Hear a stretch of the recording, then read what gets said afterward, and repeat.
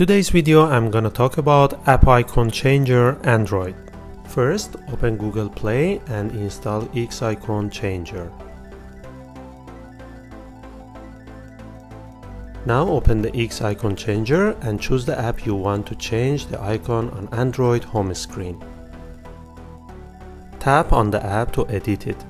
Here you can change the name of the app. Tap on photos to add a photo from your phone gallery. But before, you need to give some permissions to the app to access your gallery.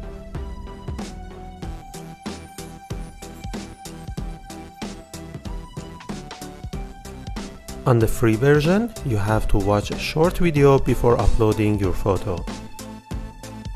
Choose the image you want to replace the icon. You have different options for the border. I prefer the curved square. After tapping on OK, you may need to give another permission to the app for home screen shortcuts, and then you are done. I hope you enjoyed this video of App Icon Changer for Android.